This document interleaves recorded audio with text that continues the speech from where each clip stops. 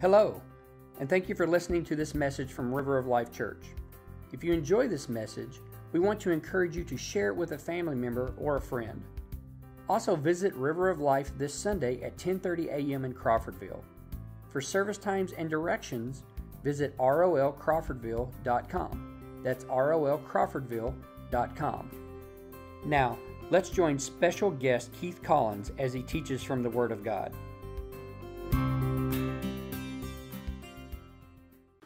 Many of you know that we value the presence of the Lord in this place? Amen. It is um, so powerful. You know, I, I love doctrine. I love Bible study. I mean, I love these things. I, I love the written word. Um, but the word and the spirit together is um, just so powerful and so needed in this generation. So thank you, River of Life, for being worshipers. Amen. Praise God. Well, I am so honored to be here with you, with the Lord this morning. And Pastor Henry told me to introduce myself. So if you like this message, my name is Keith Collins. If you don't, my name is Henry Jones. So, so amen. And if you don't care, then, then that's okay too. No, all serious. Um, just such an honor. Always a blessing to be back at River of Life and to be back in um, Wakulla County where I was raised. And so, so glad to see many familiar faces, some faces I don't recognize, which is a good thing. The Lord's adding to the house, adding to the ministry. Amen. Give the Lord a hand for the multiplication of souls. Amen. And I'm always blessed to hear that churches are baptizing people. You know, a lot of churches don't do that anymore. Amen. I know because I travel all over America and even overseas whenever I'm able to, but, but there's a lot of churches that I'll go to that they've not had a baptism in years, and whether it's because no one's been born again or saved or they just don't do it. So, um, how many of you know that we are commanded to, to baptize people? Amen. So I really honor you guys for being faithful to the Word of God. And I'm excited about lives being changed. And baptism is a, an outward demonstration of what the Lord has done in the life of an individual. It's a public statement that we have been buried with Christ in baptism, raised in the likeness of Christ to walk in newness of life. So praise God. Amen. Well, this morning, um, I have to tell you, you know, I'm, I've been preaching for so long now. Henry said that to say you're a washed up preacher that used to be on staff.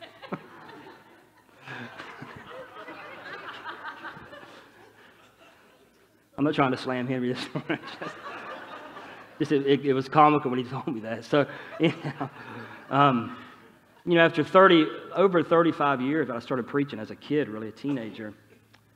And um, after 35 years of, of over 35 years of preaching and pastoring and traveling and, you know, teaching, training missionaries and pastors and all the stuff that, you know, Darla and I have been blessed to do over these years, um, you know, if, if I'm not careful, I can by default fall into a pattern of preaching. And, and actually, I, I really try to jar myself oftentimes because I don't even want to be that type of a preacher to where I can just systematically come with a message. And, you know, there are times whenever the Lord puts me in a teaching setting, and I enjoy that.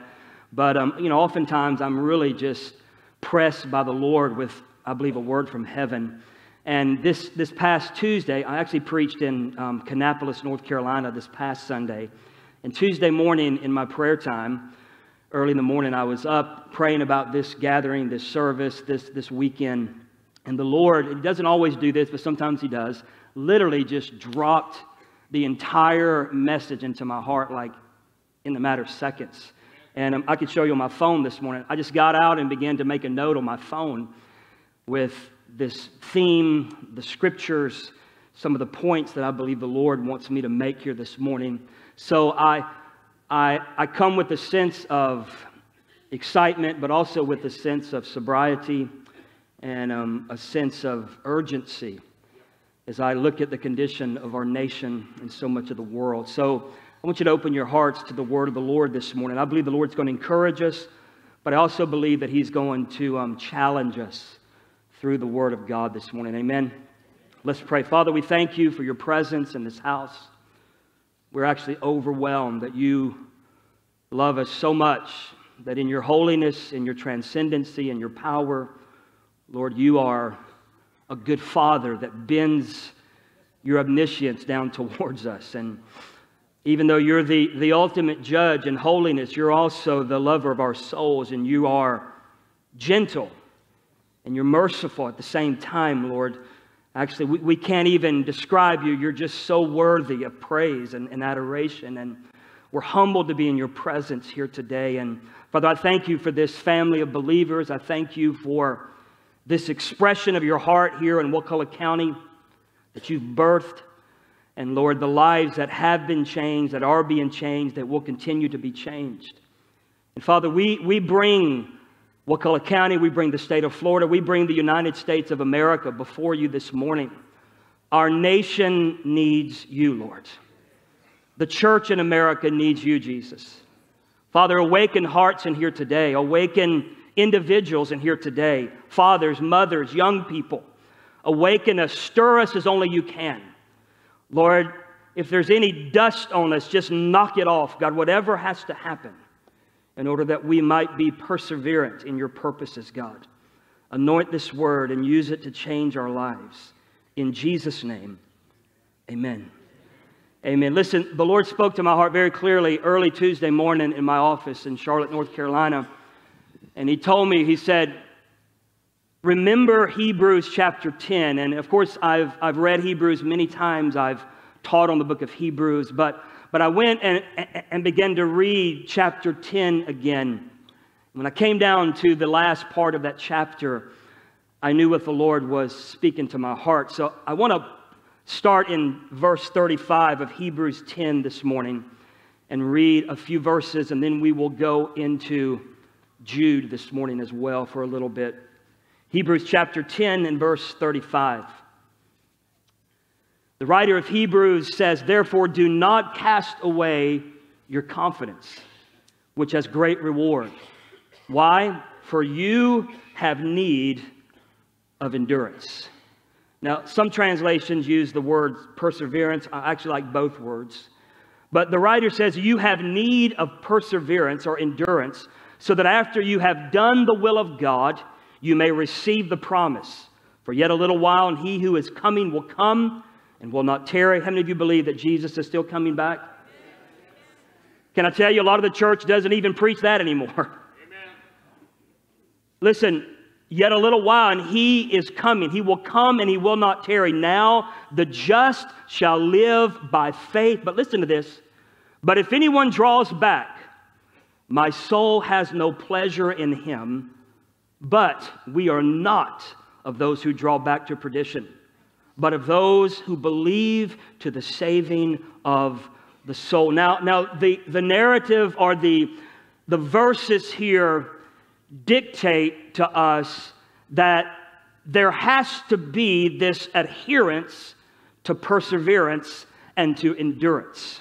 In other words, oftentimes I believe our Christianity is promoted or even taught as this easy form of believism where you and Jesus come into a partnership and everything's good and you just kind of sail through and live your own life the way that you've always been living it. Friend, that is not salvation.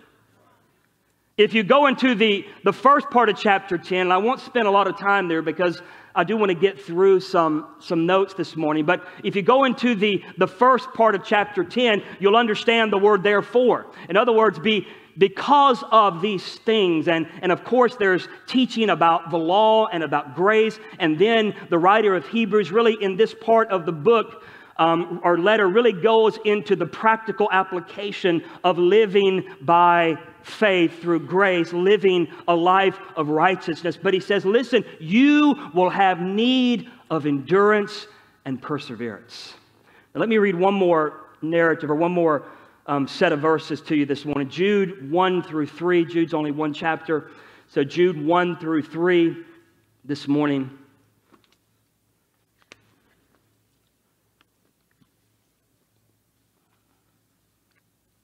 You know, it's interesting how much of the Bible is written to contradict or to put a buffer against false teaching, heresy. Um, there's a word that maybe you know what antinomianism. In other words, there's, there's, there's a good amount, a good percentage of the New Testament, if you read it, that's really written in order to encourage and challenge the people of God not to fall into deception. Not, not to fall away from the foundations of our faith, the, the, the elements of salvation, the things that make us the people of God. So when we come to Jude, we, we find that this book really combats some of these things. So look at Jude verses 1 through 3. Jude, a bondservant of Jesus Christ and brother of James, to those who are called, sanctified by God the Father, and preserved in Jesus Christ. Mercy, peace, and love be multiplied to you. Beloved, while I was very diligent to write to you concerning our common salvation, I found it necessary to write to you, exhorting you to contend earnestly for the faith which was once for all delivered to the saints. Why? Because certain men have crept in unnoticed or unawares, who long ago were marked out for this condemnation, ungodly men who turn the grace of our God into lewdness and deny the only Lord God and our Lord Jesus Christ. So these are two very distinct um, warning flags that we have from the writer of Hebrews whether it was Paul or not, is, there's good debate on that. But anyway, we know that, that Hebrews is inspired of the Lord. So, from the writer of Hebrews and also from Jude, we are challenged in our walk with God. We are encouraged in our walk with God to, to dig in deep to the foundations of our faith and not to be easily swayed or easily taken off the path. You know, the Bible says that um, straight is the gate to salvation, and few there be that find it, right? But, but broad is the way to destruction. Well, can I tell you something this morning? There is a lot of broad ways that have come even into the church of the United States of America. Yeah. I know people myself, and I, I won't go into names this morning, but I, I know people personally that two and three years ago, were solid teachers of the word of god that have now not just went into heresy but some even into apostasy in the sense that they have literally forsaking the gospel and salvation completely denying the lord jesus christ. And we, we find ourselves in a challenging season well, I could quote 2 Timothy 3 this know also in the last days, perilous times shall come, for men shall be lovers of their own selves, covetous, boasters, proud, blasphemer, disobedient to parents, unthankful, unholy, incontinent, truce breakers, lovers of pleasures more than lovers of God, having a form of godliness, but deny. I mean, we could see that, and, and clearly we're in the last days. To be honest with you, we've been in the last days since Jesus was born. Theologically, if you study the Word of God, that's when the last days began. Now, the, the, the question this morning, and oftentimes, every time there's conflict in the Middle East, I get calls from former students or emails. Hey, Pastor Keith, is this like the last of the last days? right? Or if something crazy goes on in the world, I mean, I, I, and even young pastors that I'm blessed to mentor and pour into their lives, they'll correspond with me. Is this like, is this it? Is this the, the final show? Is this the end of the end? And I always tell them that, you know, we don't know exactly when the Lord's coming back. I mean, even Jesus said he'll come like a, a thief in the night. You won't even know when he's coming, but he'll come. But I will tell you this and I'm not telling you this as a theologian because I don't claim to be one. I study the word intently. But, but listen, I, I'm telling you this as someone that has common sense in Christ. I, I'm telling you this as someone who is looking at the condition of our generation I'm telling you, someone who knows that Israel became a state or a nation again in 1949. I'm telling, or 48. I'm telling you something as I, uh, I'm telling you this as I look at the condition of our world and the continual degeneration and antichrist attack on culture and on society. And I'm not telling you that Jesus is coming back in a year or five years or 10 years, but I'm telling you this, my friend These are ominous days. And only those that are adhering to truth to purity, to righteousness will stand in the hour that we live in. The Bible says if it were possible, even the very elect of God would be deceived. Now, listen to me. There is a great deception in this hour. And I am talking to you this morning on something I'm simply calling we have need of endurance, of perseverance. Listen, I am someone that loves life. I, I, do. I enjoy life. I enjoy family. I enjoy vacation. I killed a big old 23 pound turkey in West Virginia this year by the grace of God. I enjoy deer hunting. I killed three deer in West Virginia this past fall. I, enjoy fishing. I, en- I enjoy mission trips. I enjoy pouring into leaders. I enjoy being with church people fellowship. I mean, I enjoy all of these things. My, my life is full of joy. But you listen to me. I also recognize that I am on a battlefield until I go by way of the grave or until Jesus comes back and receives his church. I, I realize that this is a, a war that we're in. And there's a battle for the soul, not just of our nation, but for the soul of the church in the United States of America. I was in the United Kingdom several years ago, maybe 99, 2000, and I was in the little nation of Wales.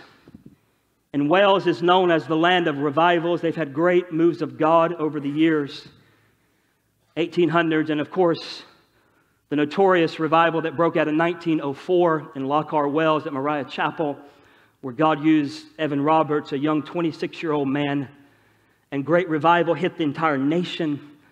But I did something one afternoon.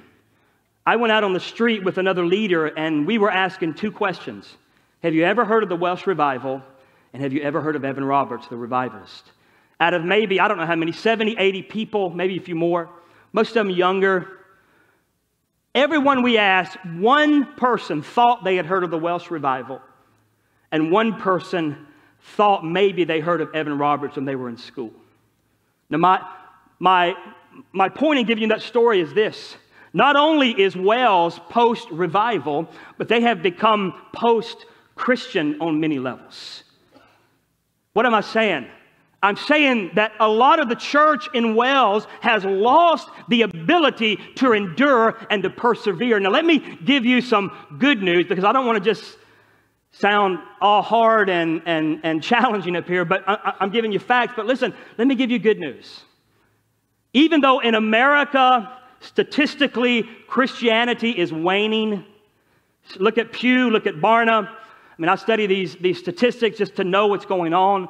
There is a, especially among the crowd of like 13 to 35, there's a great um, waning or a great falling off of people that even claim to believe in God. Even though that's the case, I will tell you that in places like Africa, in places like Asia, in places like South America, Christianity is booming in China, in Iran, in Yemen, in many parts of the world where there is intense persecution, there is also great spiritual revival that is taking place in the midst of the persecution.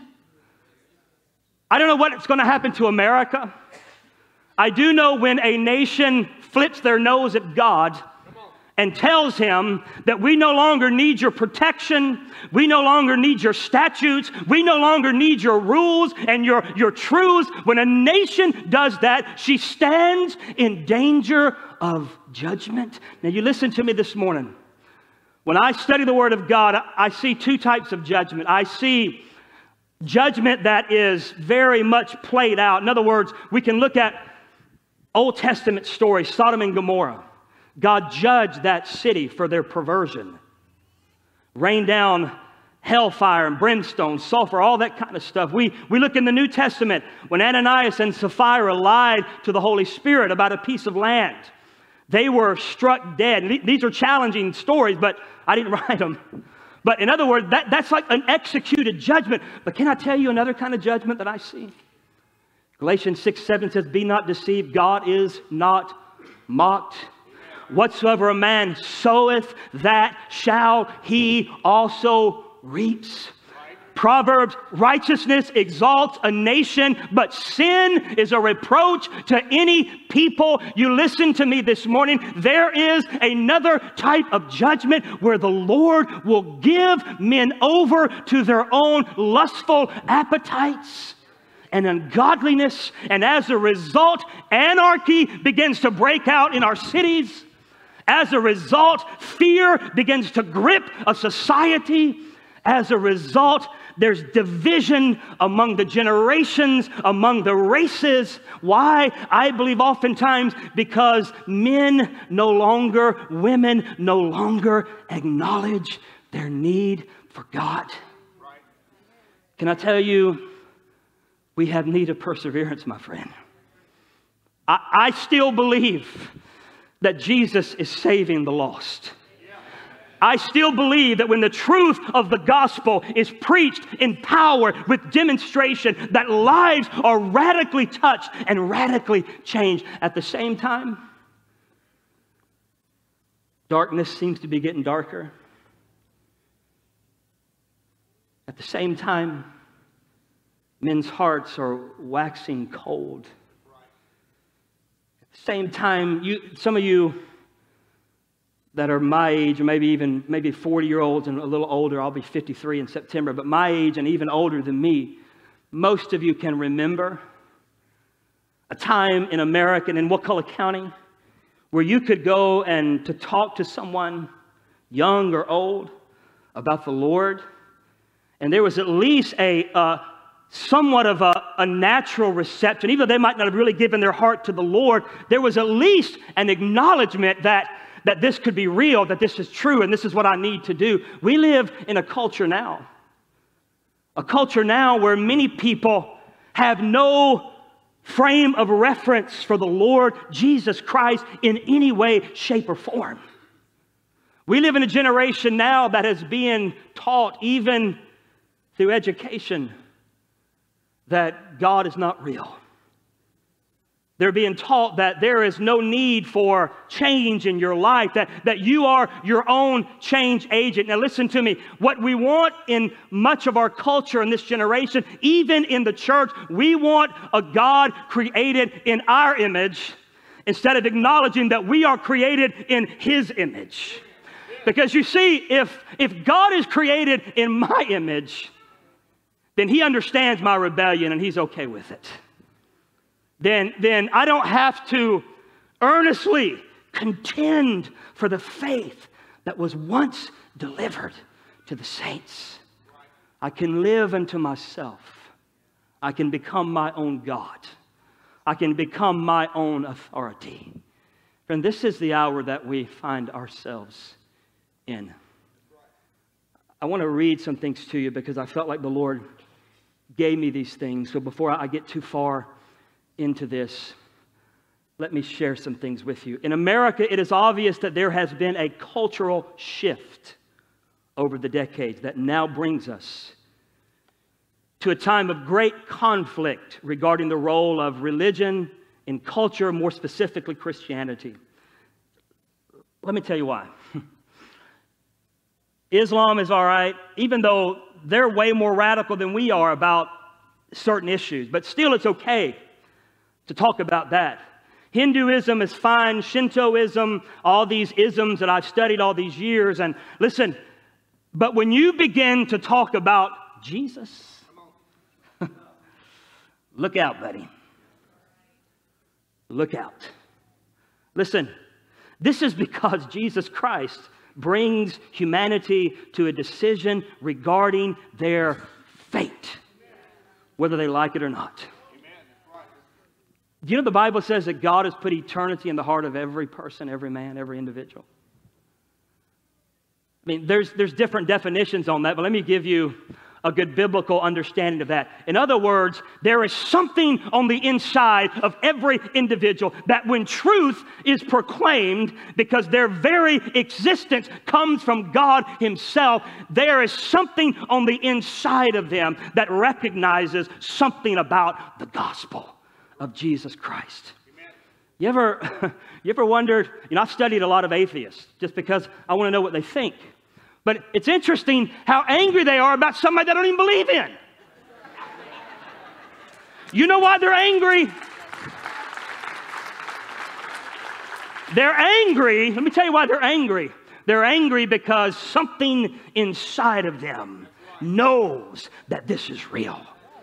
And in their rebellion and in their anti God stand, they resist him like a football player stiff arming someone. They, they push him out of their life. They don't want to deal with that Jesus stuff. Can I tell you something? Jesus will get up in your face.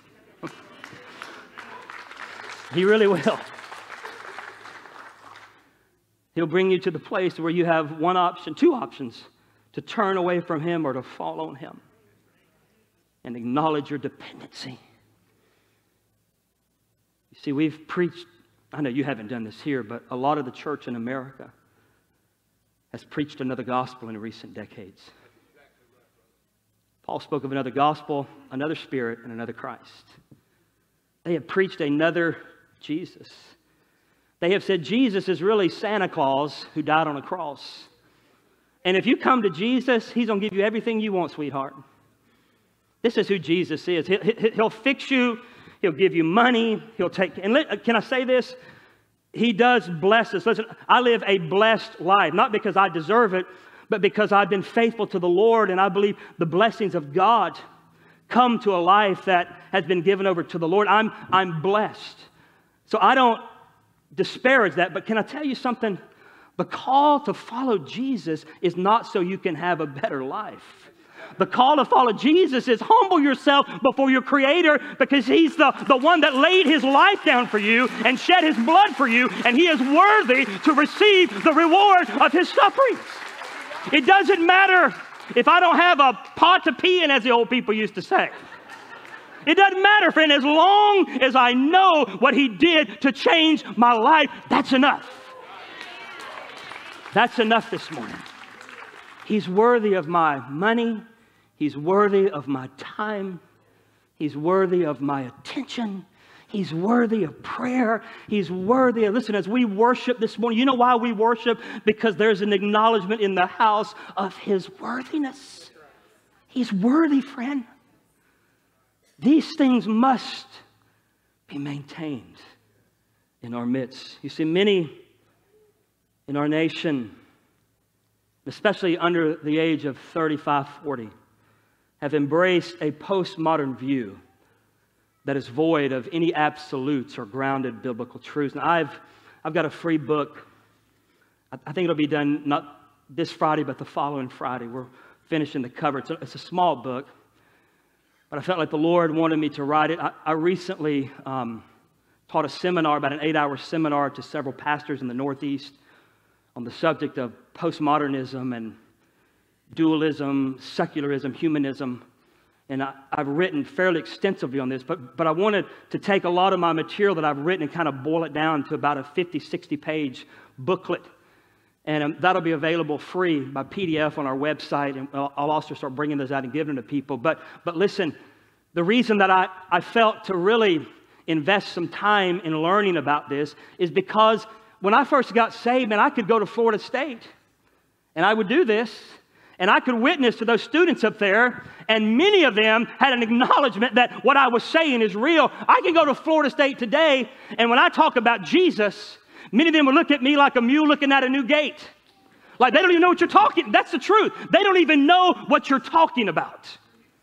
Through, through postmodernism, through deconstructionism, all these types of things, and I want to go into a lot of detail. You can get the book free and read it. But listen, through a lot of these attacks of the enemy, we have seduced and deceived an entire generation. It's no wonder they're hopeless and addicted and, and depressed and suicidal. They have no identity in who Christ says that they are.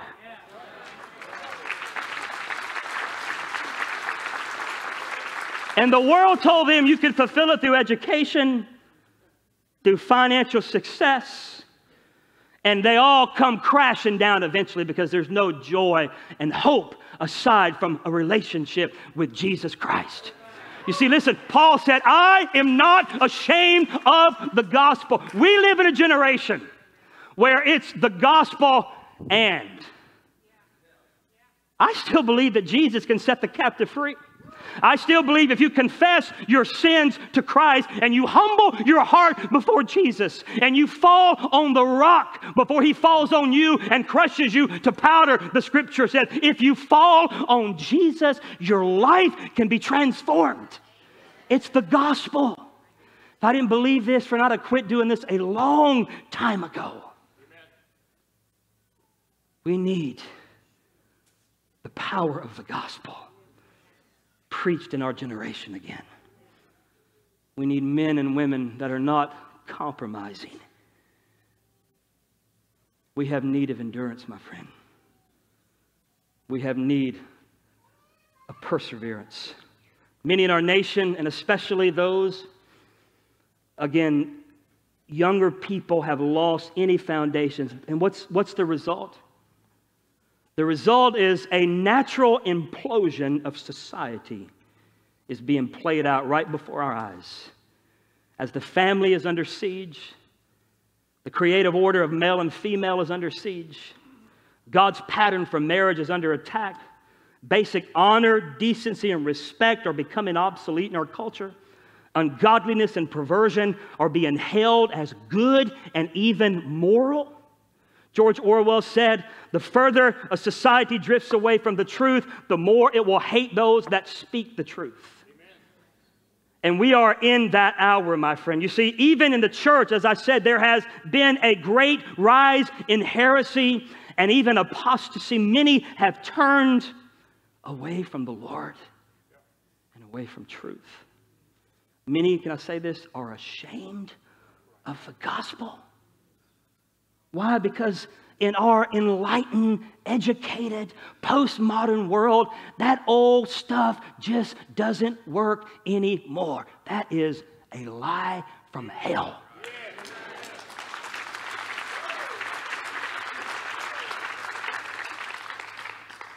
The gospel,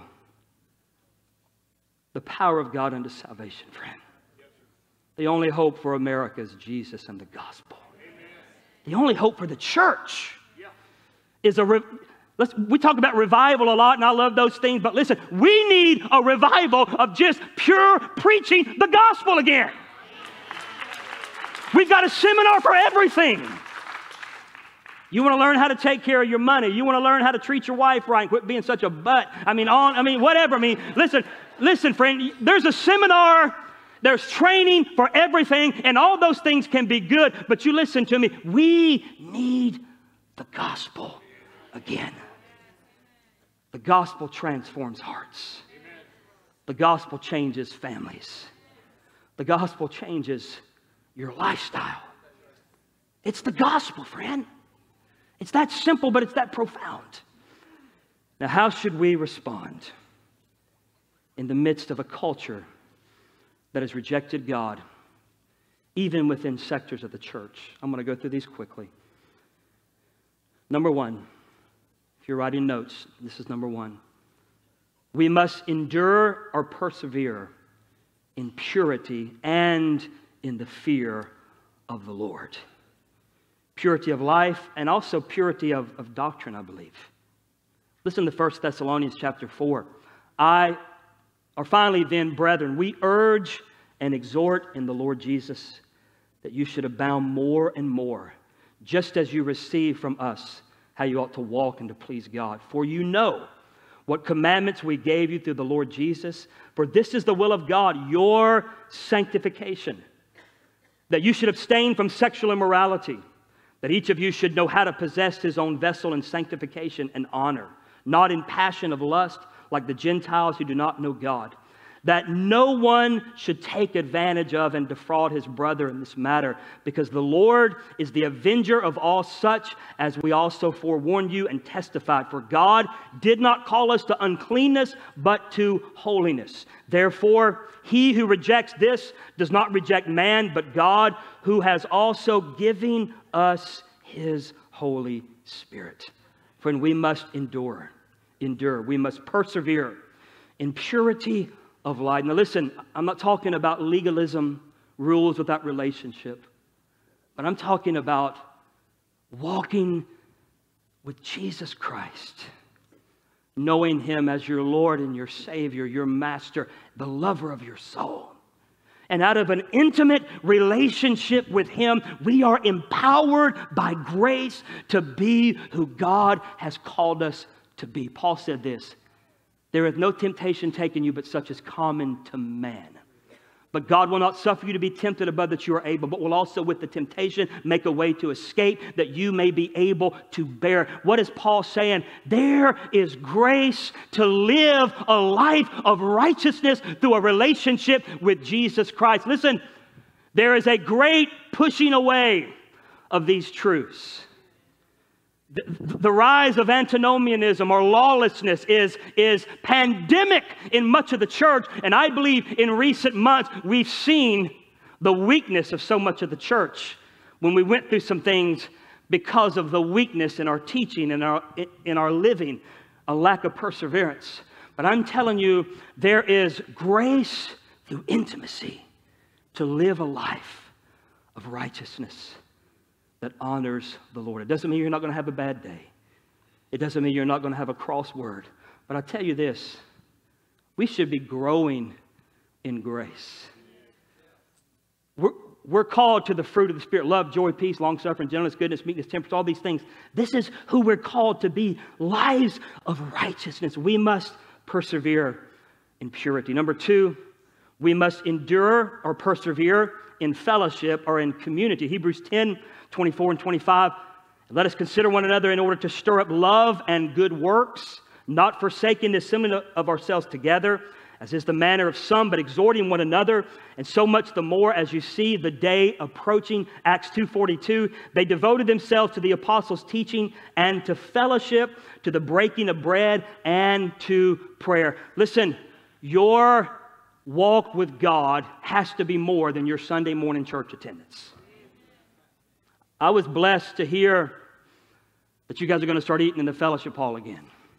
Not because you just get free food this coming week or you're, but listen, friend, that's, that's where it gets real.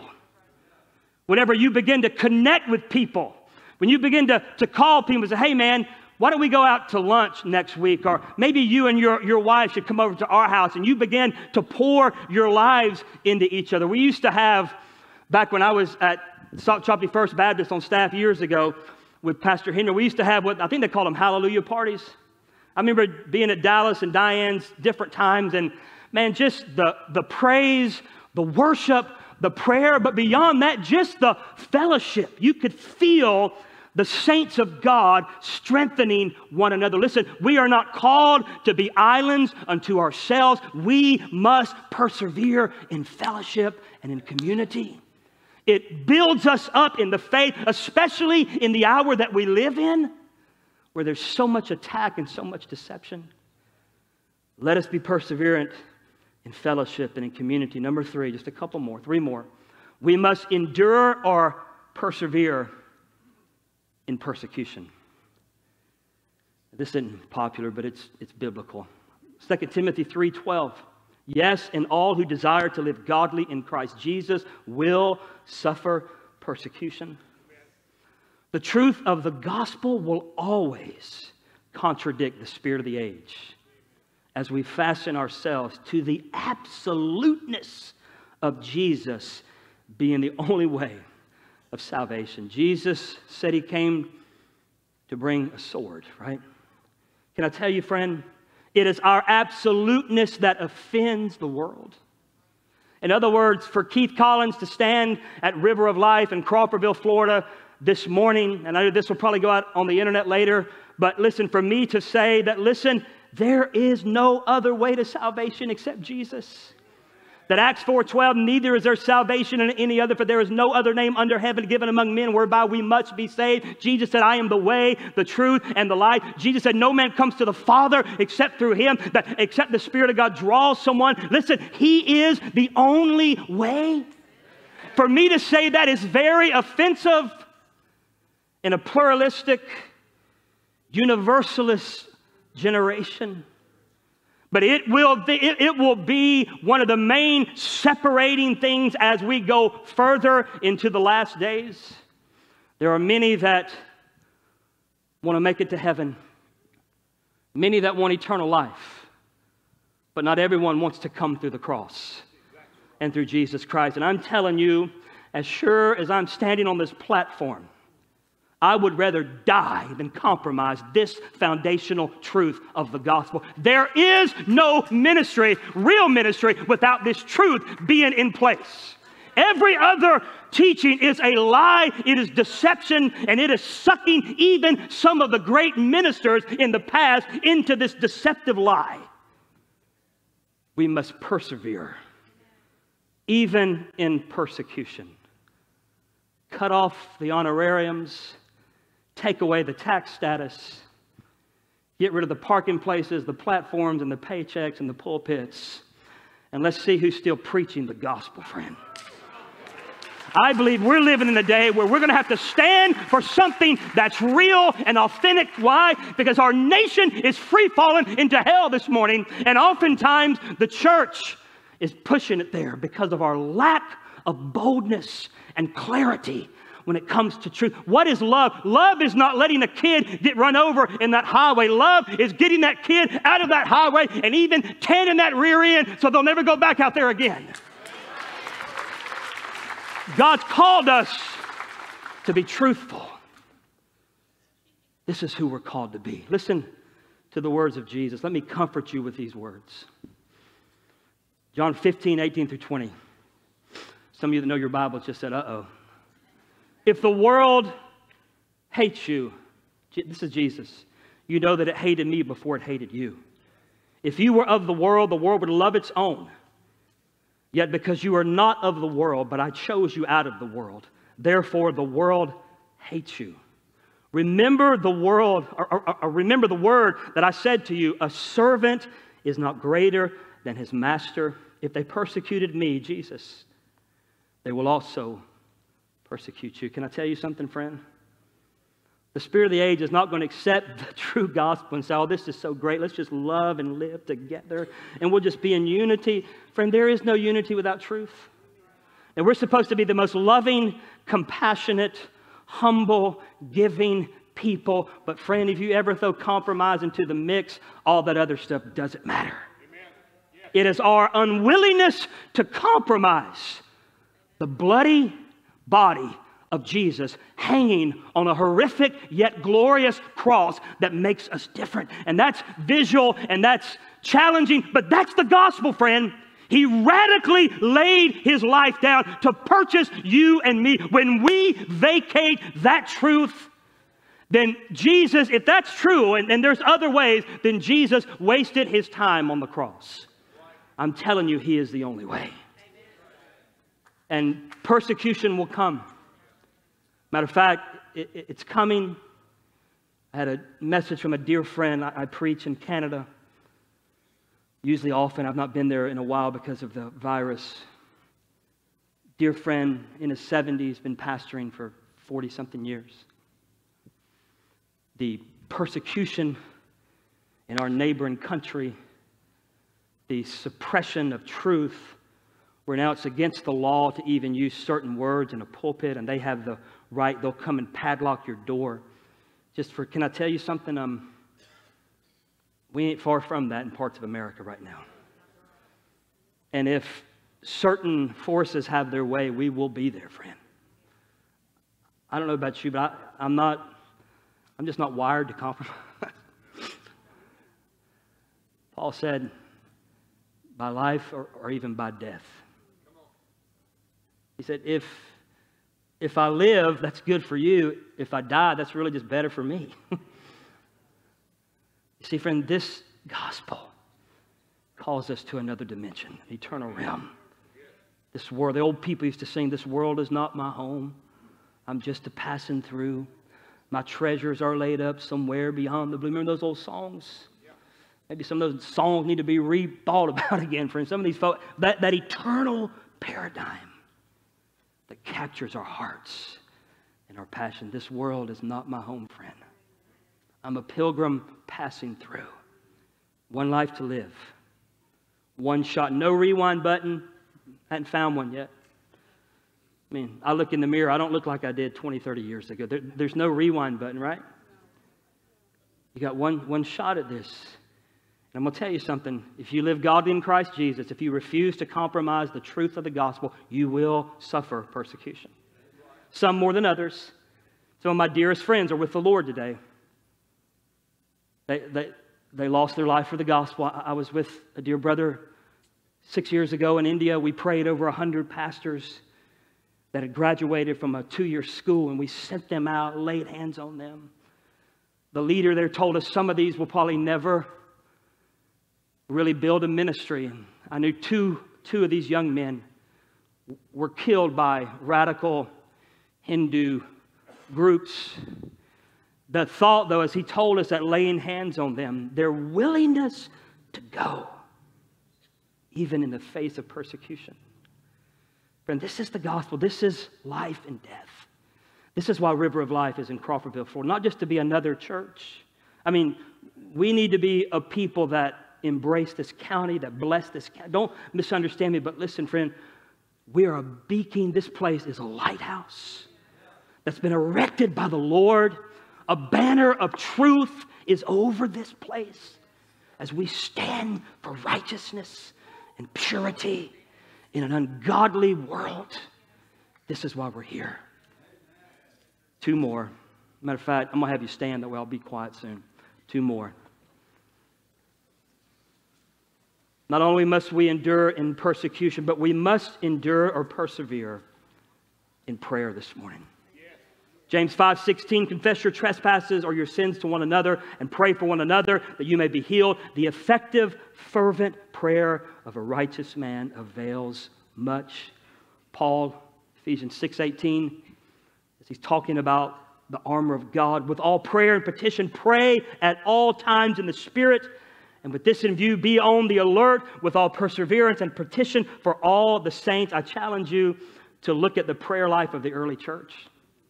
Beyond that, look at the prayer life of Jesus, the Son of Man, Jesus. We know he was God, but he would literally steal away into the night or get up early in the morning, go to a mountain, cry, vehement cries unto the Father. Friend, the church has to be a people of prayer now more than ever. Paul told us in Thessalonians to pray without ceasing. If we're not a people of prayer, then what we do can be done through human ingenuity and human strength. But when prayer is involved, the breath of eternity breaks forth, and the assistance and the grace of heaven is on everything that we do. We must persevere in prayer. We must pray through. We must be a Romans 8 people. As Paul said, there are times when the Holy Spirit comes upon us through groanings that cannot even be uttered because the Holy Spirit knows the heart of the Father and He uses our yielded vessels to pray through us. This is who we are, and we must be that people now more than ever. As the musicians come back, my last point is this. We must also, and this is important, endure or persevere in hope. I mean, we are not a hopeless people, friend. Listen, I can paint a dark picture of our culture, but friend, this ain't my home. You understand? Oh, I love this world, and the Lord's put me here to do a work for Him. And my, my goal is to rescue as many as I can from hell. But, friend, my hope is not in the American economy. My hope is not in the next president or the next senator from Florida or whatever, or the next governor. I mean, we pray the way we pray for righteous leaders. But, friend, my hope is in Jesus. I read the, I've read the Bible through many times, and I've read the end of it many times. I know how this ends. I know how it ends. Let me close reading this scripture to you. But I, don't, I do not want you to be ignorant, brethren, 1 Thessalonians 4, chapter 13, concerning those who have fallen asleep, lest you sorrow as others who have no hope. For if we believe that Jesus died and rose again, even so God will bring with him those who sleep in Jesus.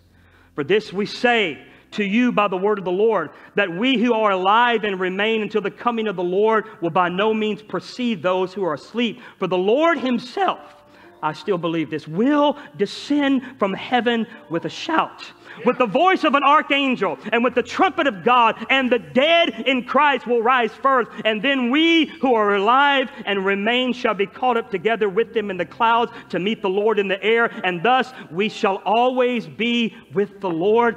Therefore, comfort one another with these words. Let me close with this quote, and I'm going to pray, and we're going to open this altar this morning. There are people in here that the Lord's dealing with your heart. Friend, this is an amazing morning for you. Jesus loves you so much that, that, that He wants you to hear His truth. He wants to set you free. Set you free from the enemy, set you free from the power of the enemy, but also set you free from yourself. There's freedom in Christ from your addictions, from your depressions. It doesn't come just by snapping a finger. No, it comes by giving your heart deliberately to Jesus. There's others in here this morning. The Lord's calling you into a deeper place of perseverance, friend. It's not just a Sunday morning service or a Wednesday night Bible study. Those things are very important. You need to be here. Friend, this, is, this, this should be more real when you walk outside this dome than it is when you're in this dome. My heart is that your heart would burn for Jesus like it never has before. That you would have a fresh infilling of the Holy Spirit this morning to do the works of Jesus in your generation. What Wakulla County needs the works of Jesus done, friend. How does he do that? Through you, through me. Through yielded vessels of perseverance. Listen to what Jim Elliot, the missionary martyred in Ecuador, said many years ago. He is no fool who gives up what he cannot keep to gain what he cannot lose. I want you to bow your heads this morning. Thank you, Jesus. Thank you, Father. Thank you, Lord. Lord Jesus, we humble our hearts before you this morning. We thank you, God, for truth that, that cuts through the clutter, cuts through the confusion, cuts through all the excuses, and Lord, just brings us to you. Father, I, I, I, pray this morning that, that you would touch hearts in this place. Lord, if there are those that do not know you this morning as Lord and Savior, that this is the day of salvation. This is the day of repentance. This is the day of humbling our hearts before you. And Father, those here this morning that, that would simply say, Lord, I, I want my life to be used for your glory. I, I want to entrench, I want to be perseverant. Father, I pray that you would stir them in a new and a fresh and in a radical way. And Father, I, I pray for this church, this expression of your kingdom here in this county. Father, we know there is vision that is alive here, that's been alive here for many, many years. Father, may the next phase be glorious beyond compare. May there be an amazing harvest, God. Let lives be radically touched. Raise up disciples who will go out and make disciples, Lord. Your kingdom come now this morning. In Jesus' name. Thank you again for viewing this message from River of Life. If this message has touched you today, or if you need somebody to pray with you, please let us know. You can also call us at 850 926 1200 or send an email to info at riveroflifefl.com. We also encourage you to check out River of Life live this Sunday morning at 10:30 a.m. in Crawfordville. Visit rolcrawfordville.com for more information and directions.